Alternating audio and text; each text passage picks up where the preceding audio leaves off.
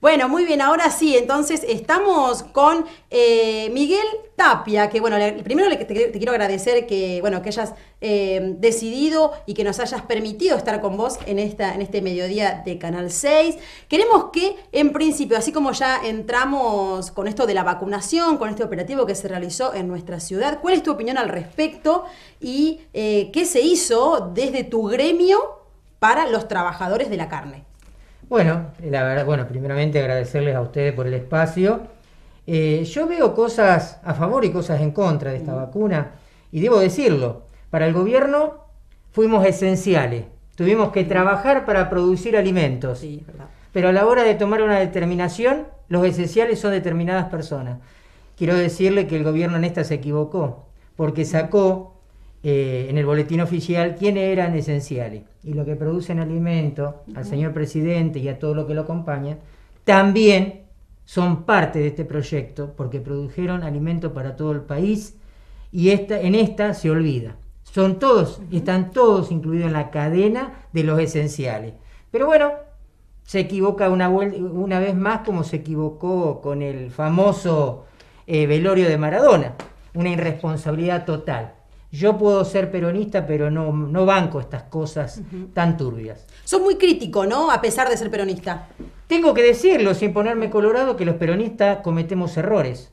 Y esto es un error que cometió el peronismo. Y yo como peronista lo digo porque gracias a Dios no tengo compromiso con nadie. Y eso para mí es importante. Puedo hablar libremente porque no, no me debo callar nada. Y en esta el peronismo se equivocó, como se equivocó con el velorio, como se equivocó con cuantas cosas. Porque más de una persona perdió un ser querido y no pudo despedirlo pero como era una figura que, ojo, no tengo nada contra el fútbol, que no se malinterprete. Claro, no es, sí, sí. Pero esto está mal, porque el gobierno autorizó en la Casa Rosada y metiendo una vez más el peronismo a paña delincuente, porque hubo personas de la Barra Brava que están tan hasta las manos y estaban adentro de la Casa de Gobierno, y eso es lamentable.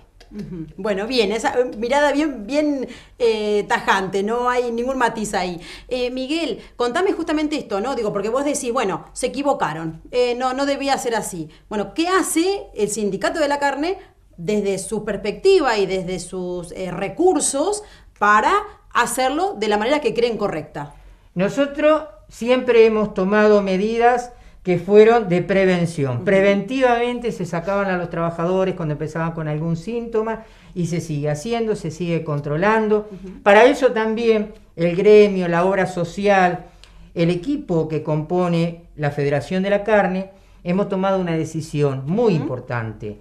Eh, ¿Y por qué digo importante? Porque en Salto debemos ser, un, creo, de los únicos, sí, ah, siendo un poquito con el perfil bajo, pero sí hemos traído más de 800, eh, ¿cómo es? Set de, para test rápido para los trabajadores nuestros, el cual estamos destinando ya, le hemos llevado a la empresa Seichu, ya hablé con la anónima para ni bien regresemos de las vacaciones, para que sepamos si tienen anticuerpos o no tienen anticuerpos los trabajadores. Así que eso es una forma de prevención es una forma de trabajar con compromiso. A veces no solamente, yo siempre digo, no pasa por una fiesta, un regalito más, un regalito menos, pasa por la prevención en salud. Y hoy tenemos que cuidar la salud. Quien te habla lo tuvo y sabe que puede hablar del COVID porque me pasó y la pasé mal. Pero bueno, hoy es para nosotros importante la prevención y hacer todo lo que esté a nuestro alcance para esta pandemia que realmente en esta no nos tuvieron, no nos tuvieron en cuenta. Pero el sindicato y la, y la obra social siguen trabajando para la prevención. ¿Y en qué consiste ese test rápido? Porque uno dice el test rápido, pero uno tal vez no tiene idea profundamente de de qué se trata. Eh, ¿Cómo hiciste para conseguirlo? Digo, ¿por qué eh, vos tuviste esa posibilidad y, no sé, a nivel nacional, vamos a hablar a nivel nacional, no tuvieron? Eh, bueno, yo pertenezco al directorio de la obra social, soy director de la obra social de la carne, el cual en una reunión se tomó una decisión, el presidente de la obra social, el compañero Fantini, de empezar a adquirir test rápido para que en las filiales no faltase ningún test rápido por cualquier cosa que pudiera pasar. Y sabemos que esto se va a agravar. Todos los países se viene la segunda ola. Pero bueno, se toma muy livianamente y nosotros nos estamos preparando para eso.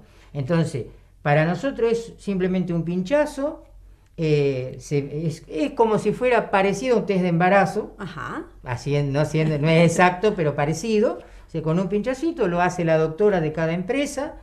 ¿Por qué? Porque la caja trae- viene de a 20 Ujú. y, y- y hay que usarlo, no es para dejarlo o repartirlo como repartieron en algún momento algunas cosas. Esto no, esto se va a hacer eh, seriamente con un médico que lo administre. ¿Por qué? Porque hay reactivos que eh, si, si lo abrimos y no lo usamos se vencen. ¿Y ya se realizó en la empresa?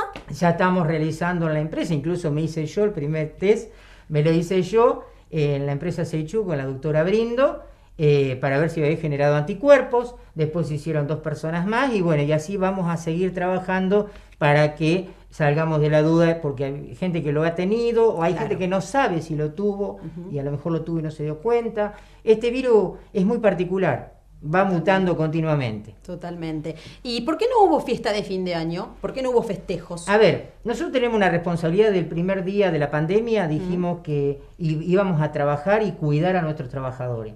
Hoy sería una actitud, una actitud, te diría, eh, por faltar a la palabra, porque nosotros, ma- eh, o sea, mantuvimos una posición con el COVID Claro. y vamos a seguir trabajando. Y yo, vos ves que acá en Salto se hace fiesta en todos lados, Mm. no debemos ser tan hipócritas, se hacen fiestas privadas por todos lados. Eh, nosotros dijimos, bueno, si el sindicato de la carne hiciese una fiesta, y enseguida salimos en primera plana porque el sindicato de la carne. Sabemos que cumplimos un rol y molestamos, porque es así. Molestamos a algunas personas que a veces en la crítica, en vez de construir, quieren destruir. Y la verdad que ya con la que pasé, no van a destruir tan fácil porque voy a defender el, el sindicato, la obra social, como si fuera mi casa. Y la otra, la otra cosa que tenemos una responsabilidad de decir cuidar a nuestros trabajadores. Hoy hacer una fiesta, eso significa 1.300 personas mínimo, aglomerados en un, en un salón que es amplio, pero no rinde las condiciones de seguridad que por ahí necesitaríamos. Entonces, por una cuestión de respeto a cada vecino de Salto, tomamos esa decisión. Y el respeto genuino a nuestros trabajadores. Bueno, eso está muy bien. Ahora, eh, ¿cuáles son los proyectos? Porque sabemos que eh, el Sindicato de la Carne trabaja mucho para sus afiliados. Hubo muchos proyectos para este 2020 que no se pudieron cumplir o que tal vez tenés la idea y se pospusieron. Decime cuáles de estos proyectos, como por ejemplo la universidad, que era uno de los que nos interesaba porque nos parece que es una buena iniciativa ¿no? para, para todos los trabajadores. Eh, ¿Qué pasó con ese proyecto? Bueno, lo de la universidad tomé una decisión. ¿Por qué? Y te voy a decir, voy a hacer libremente, lo voy a sí, decir sí. libremente porque no tengo problema. Con todo lo que ha pasado en Salto referente a la cámpora, son malas experiencias. Y la verdad que yo no quiero delincuentes adentro del sindicato. Porque acá la cámpora ha salido a bancar delincuentes o de mujeres que ocupan espacio. Y la verdad que he tenido malas experiencias. Y en el contrato me dejaba, no era todo blanco, tenía grises. Y a mí cuando hay grises no me, no me gusta. Entonces tomé una decisión que voy a esperar, porque voy a tener otras oportunidades, pero no bancándome que sea gente de la cámpora. Cuando en Salto, la verdad que no hemos tenido buenas experiencias con la de la cámpora, porque han sido, ma- mantienen vago y mantienen, porque creen que todo es sacarse una, una fotito entregando una bolsa de mercadería. Y eso es la política para la cámpora y para el peronismo mismo. Yo digo, viva el peronismo, en una caja, en una, en una bolsa de mercadería no puede faltar la polenta en verano. Lamentable que todavía el peronismo siga pensando con esa cabecita que hay que dar fideo, hay que dar... No, vamos a darle a los chicos una dieta como corresponde y no sigamos repartiendo fideos incomibles o en pleno verano polenta. Bueno, yo en esa no, no voy a entrar y no entraré jamás. Entonces, por eso he pospuesto eso, mientras no cambie y me demuestre que vamos a dejar los delincuentes de lado y vamos a, llevar en un proyecto a gente seria, genuina y con compromiso, y que cambiemos nuestra cabeza, que no pasa por dar dádivas continuamente desde el peronismo. ¿Y cómo se soluciona o- o, digo, de qué forma ayudarías a los eh, trabajadores, tal vez, como vos decís, no les voy a dar, no les voy a dar polenta, no les voy a dar fideo, ¿de qué forma se les puede ayudar? A ver, yo sigo sosteniendo que los, los recursos del Estado se malgastan. Veámoslo acá, no vayamos tan lejos. Acá tenemos frigorífico de cerdo, frigorífico vacuno y de pollo. No compramos los frigoríficos. Entonces creo que se pagan doble- muchos sobreprecio. Vos fijate que hace unos cuantos meses la mercadería que da desarrollo social se había pagado de sobreprecio. Sigue estando, sigue estando el jefe de compra. Sigue estando Arroyo al frente de la Secretaría de Acción Social cuando no tendría que... Fue pésimo, fue lamentable malgastar, el, eh, malgastar los fondos del Estado. Bueno, esa es la política. No coincido con esa política porque sea peronista, tengo principios que no los voy a traicionar y menos a mi edad. ¿Y tienen un, eh, crees que hay eh, una cuestión de, es de orden, de, digo, gastar más de lo que entra? ¿Cómo, cómo, cómo, cómo funciona? esos recursos que puede dar la nación o la provincia a, los, al resto. Yo creo que tenemos que enfocar a las empresas, o sea, el Estado tiene que enfocar a las empresas y no pagar sobreprecio, pagar precios coherentes. No podemos pagar las cosas el doble o el triple de lo que valen. Eh, a ver, tendrían que, a ver, tendrían que primero tener que cambiar la cabeza, dejar de ganar millones y fortunas por mes cuando un trabajador tiene que vivir con un mísero sueldo. Entonces creo que los políticos deberían bajarse el sueldo, tendrían que ganar dos o tres salarios mínimos a ver si viven, para que así sepan lo que es trabajar, levantarse a las 4 de la mañana, a las 6 de la mañana, ir a trabajar por un sueldo. Bueno, los legisladores tendrían que quitarse un poquito ese, esa zona de confort que tienen. ¿No hay posibilidades entonces de volver con la idea de la universidad? Por el momento no. Si yo voy a ser muy claro en esto. Si este gobierno me demuestra que realmente no va a apoyar más delincuentes, lo tenemos acá, en la Secretaría de Trabajo. Una persona que no puede estar ni al frente de una calecita. La ponen en ¿Y por qué? Y bueno, porque una compañera. No, yo compañero tengo, pero no delincuentes. Y Tenías otros proyectos que en algún momento hablábamos, tal vez fuera de cámara, sobre el sindicato mismo, ¿no? Digo, había allí eh, algo, algunos, eh, eh, odontología, algo de eso. Contame un poquito más de qué pasa dentro del sindicato. ya están prácticamente ya terminados los consultorios, está el, sillón, están los esterilizadores, está todo. El año próximo, entre enero, febrero, no, porque es un mes que la mayoría está de vacaciones, pero en febrero ya vendrá odontólogo de Buenos Aires va para hacer implante, para hacer ortodoncia, y el sindicato, por eso digo que a veces no pasa por una botellita más, una botellita menos, y que nos critican. Y es lógico, yo sé que molestamos. Pero fíjense qué importante. ¿Por qué crees que molestan? No entiendo. Molestamos ¿por qué? Porque nosotros hacemos una política diferente a lo que están acostumbrados. Entonces, si acá no coincidimos con el gobierno de turno, ah, no, eh, eh, He escuchado de algunos periodistas decir, sí, pero Miguel no se define. ¿Por qué me tengo que definir y decir, sí, acá estoy para lo que... No, no, no. Yo soy muy crítico de las cosas y lo voy a seguir siendo. Con Ricardo Alessandro tengo una excelente relación, pero cuando lo tengo que criticar, lo critico porque se lo he dicho a él. Una de las cosas, por ejemplo, si tenemos... Vos fijate qué loco, ¿no? Tenemos eh, cuántos terrenos tiene el municipio en el Banco de Tierras. ¿Por qué tiene que esperar abril para para empezar a sacar eso cuando hace, hace un año o dos que lo tiene. ¿Por qué? Bueno, eso habría que preguntarle por qué. Porque esperamos, no podemos ser tan vil en esto. ¿Por qué? Porque digo, es una política baja, pero en todos lados se usa. El gobierno nacional también lo hace. ¿eh? Entonces, empezar a hacer un eh, los lotes cuando, en abril, cuando estamos cerca de las elecciones. No, debemos laburar todo el año, debemos cambiar todo el año, trabajar para darle lo mejor a Salto. Bueno, el sindicato también. No pasa. Yo le decía, la misma caja de navideña que dimos este año y la que dimos el año pasado. Pero ¿qué, también hacemos? Dice, no hubo fiesta. Y no, no podemos hacer fiesta. ¿Qué hicimos ahora? Decir, bueno, el 10 de junio vamos a hacer la fiesta y trasladaremos los premios que no sorteamos, lo vamos a sortear ahí. Y con el tema de salud, para nosotros es más importante la salud que una caja. ¿Por qué? Porque ortodoncia, decime qué obra social ¿Qué obra social en Salto o en la zona o la prepaga va a dar eh, da ortodoncia para los niños. Bueno, nosotros estamos trabajando porque vamos a hacer un esfuerzo y vamos a trabajar y vamos a darle hasta los 12 años la ortodoncia a los chicos sin que paguen un peso. Eso, es política. Eso es política gremial y general. Trabajamos para darle lo que corresponde al trabajador. Fíjate si en este país lo que, las cosas que se podrían dar si dejan de meter la mano en la lata y si dejaran de pagar los exuberantes sueldos que ganan diputado, senador, Bueno, todos están por la milanesa. Bueno, nosotros no estamos por la milanesa. Hay un tema muy importante que siempre te pone o los pone, ¿no? Como en el ojo de la tormenta. Son los malos olores en nuestra ciudad. Y esto pasó recientemente el fin de semana, hubo muchas quejas Recordemos a toda la gente eh, en redes sociales, se generó, ¿no es cierto?, la queja. Eh, y bueno, luego hubo una conferencia donde explican también, hay que, o sea, Nobleza obliga a que decir que dijeron también que tuvieron toda la predisposición del lado de, ustedes. Eh, bueno, queremos saber, porque estuvimos también en un tiempo con vos y nos contaste de que habían hecho con el OPDS, habían trabajado y habían estado allí para saber exactamente qué es lo que pasaba, qué tenían que modificar. ¿Cómo está eso ahora? Bueno, la empresa, primero la funcionaria, debo, debo reconocer que se manejó, que así tiene que ser. El que habla del tema debe ser alguien entendido.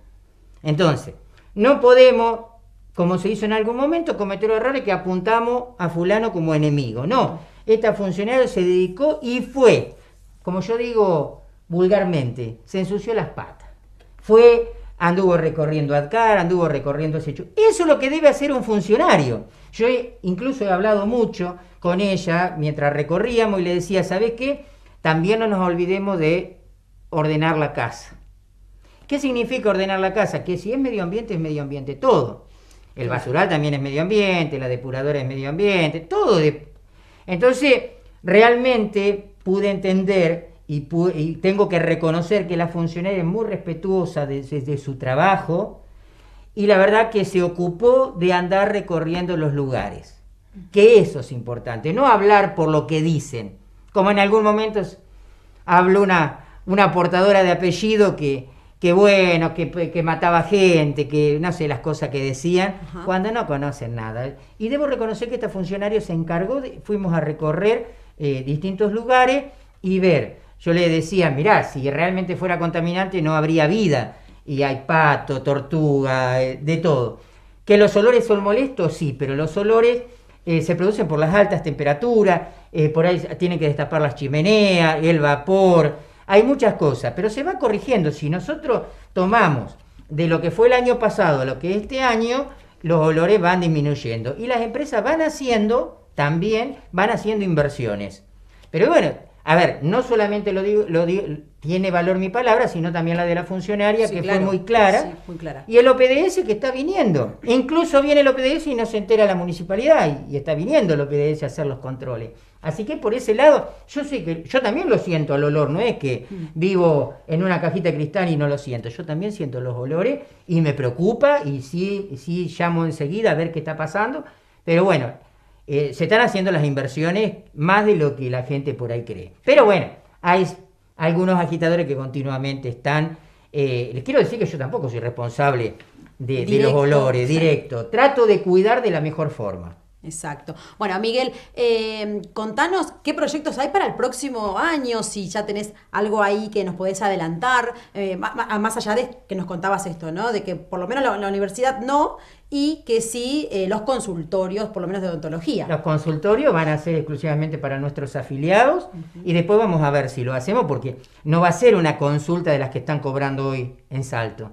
Yo te diría que la consulta médica de un odontólogo en nuestro sindicato va a ser del 50% menos que lo que están cobrando acá. Un implante... Eso es un beneficio, un beneficio para los Un beneficio para nuestros trabajadores, pero después lo vamos a hacer abierto a la comunidad.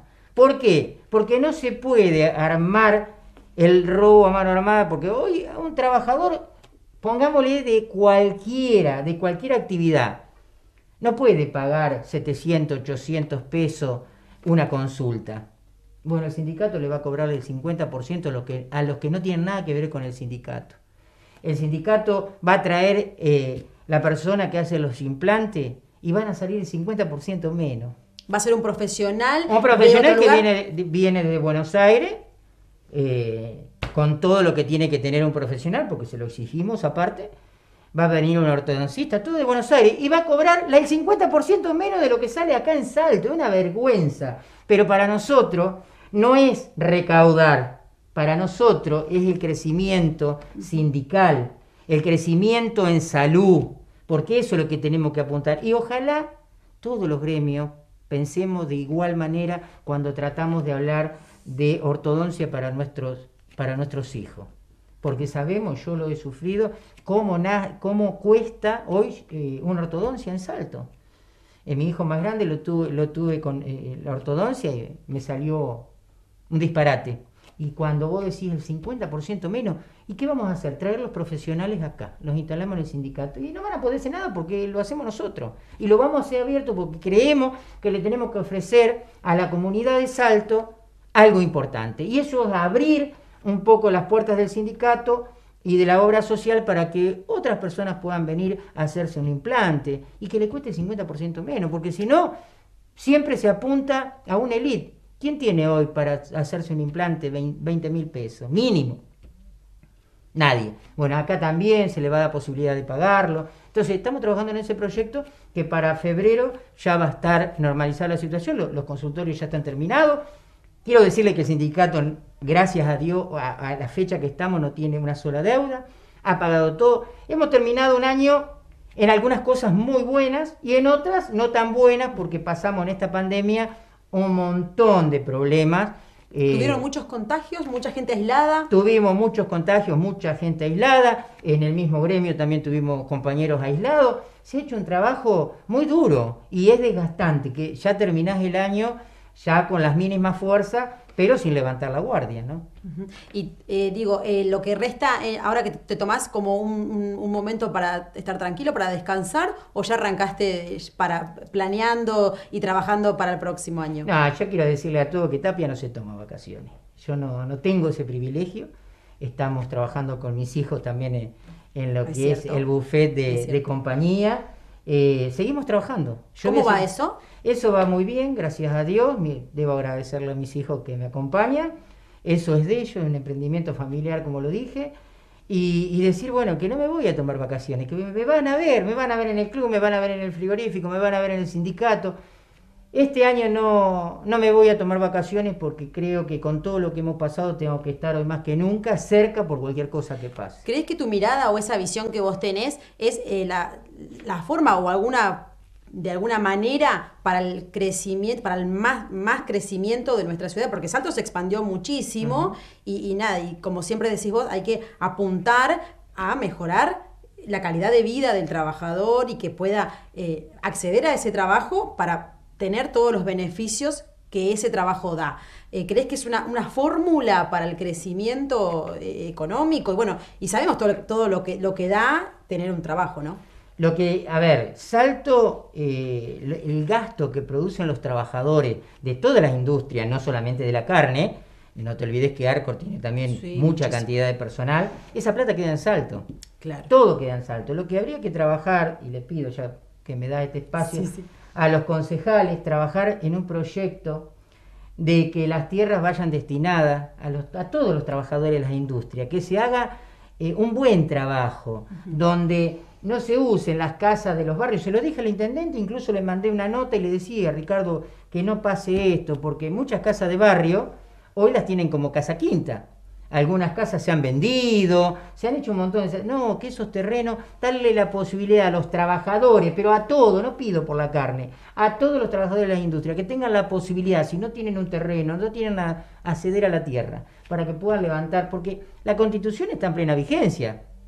Entonces creo que la constitución dice, es muy clara. Es muy clara. ¿eh? Entonces creo que hay que poner eh, por manifiesto la constitución y los concejales tienen que trabajar. Tienen la nota que le mandé al intendente y que pronto se la haré llegar a todos los bloques para que estén atentos y empiecen a controlar todo. Entre todos tenemos que controlar que no se, no se no dispare nada y que las tierras vayan destinadas no a personas que quieren invertir sino que vayan destinadas exclusivamente a trabajadores genuinos. Dejemos mantener vago, que el vago no nos da nada. Lo que, lo que producen y lo que le dan asalto, el potencial, son los trabajadores. Llamémosle eh, Arcor, la Anónima, eh, Acoplado Salto, todas las industrias, Atusaje, si alguna me olvido, pero todas las industrias que viven en Salto son los trabajadores los que dejan a Salto un potencial impresionante. Ustedes ven que en Salto no hay, no hay desocupación. No hay desocupación como sufren otras, otras ciudades. Entonces Salto tiene un potencial que los trabajadores gastan en Salto. Y la, la plata, el sueldo lo dejan en Salto. Devolvámosle un poco a esos trabajadores que tanto esperan de la clase política. Bueno, ojalá, ojalá sea así porque creemos que eh, eso es una buena iniciativa, ¿no? Yo creo que es tan difícil hoy acceder a una casa, a un terreno, eh, y para la verdad que tener la posibilidad es, es fundamental. Bueno, Miguel, algo que quieras agregar, un saludo, aunque sea, déjame un saludo eh, lindo para los trabajadores, para la gente de Salto que nos están escuchando. Para mis trabajadores, mis compañeros, desearles un feliz año nuevo. A cada vecino de Salto también, lo mejor, lo mejor para el año próximo, que yo pido que sea un poquito más liviano, que podamos tener toda la posibilidad de acceder a todos los sueños que tenemos y creer en un salto mejor un salto que sea más equitativo, un salto para todos y no para unos pocos. Eso es lo que le pido a Dios y al levantar la copa pido por la salud de, de todos, de todos los vecinos de Salto, que Dios lo bendiga y que en cada hogar no falte el pan en esta mesa. Muchísimas gracias. Gracias a vos.